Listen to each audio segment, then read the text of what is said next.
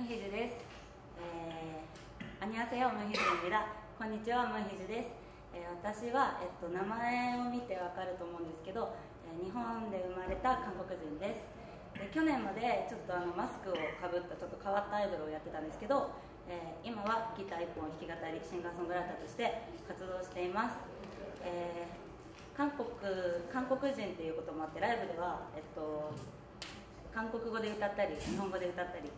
してるんですけど、えっと、今はすごいちっちゃいライブハウスで、えー歌ってるんですけど、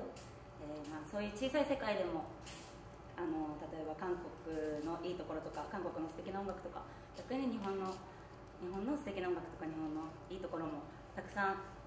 小さい世界から伝えていきたいなって思って今活動しています。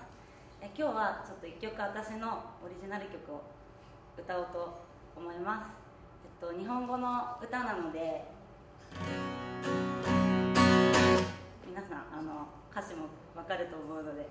はい歌います。モノクロ。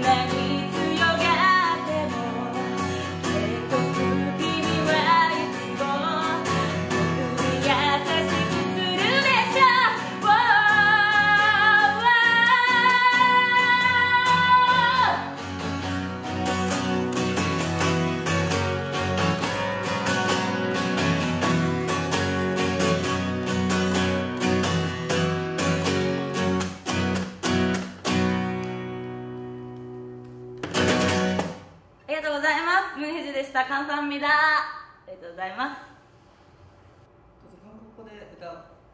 ことも音も、はい、ライブであの韓国のあのアイドルのカバーとかを、あのアコースティックバージョンで歌ったりして、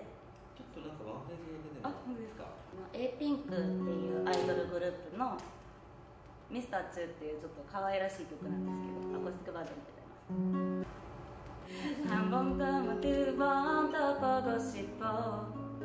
두 번 세번 밤은 너를 더 안고 싶어. 너와 카플린 카플린 손에 끼고서 함께 이 길을 걷고 싶어 는 매일매일 봐도 난또 좋았죠. 두 번 세번날 볼을 꼬지고 봐도 마치 팀인 팀인 꿈을 꾸는 듯